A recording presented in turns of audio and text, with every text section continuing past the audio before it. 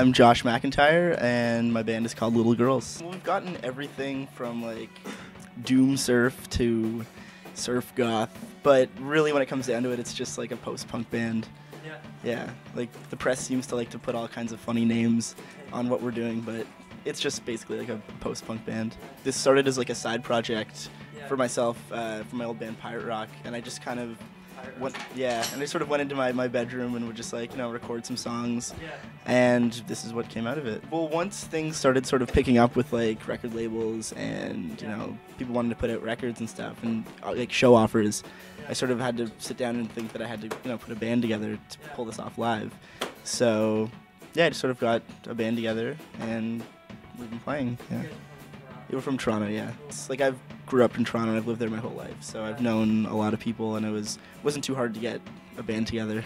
Basically, I just was recording these songs and had you know no preconceived notion of what I wanted to do with it. It was just music I was making for myself, for fun, and then it got posted up on this blog, Gorilla vs Bear. And then things just started progressing, and then we did a video, and then shows kept going, and just like it's, I've just been sort of you know riding with what's been happening. We've been around. We've played like Chicago, Boston, Detroit. Yeah, we played with yeah Japandroids, uh, Wavves, um, Blank Dogs, Crystal Stilts, Vivian Girls. Like a lot of bands that I've really liked, and it's just crazy to be able to play with these bands and know some of them now. So it's cool. Like I was just like wor- working like a, a job back in Toronto for a while, and like playing shows occasionally in Toronto. But you know now I'm going to all these new cities and meeting people, and it's it's great. Yeah, this is incredible.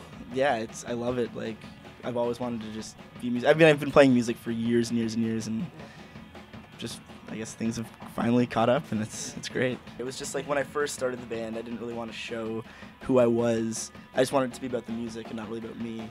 So I just sort of came up with a name that would least give away that it was me.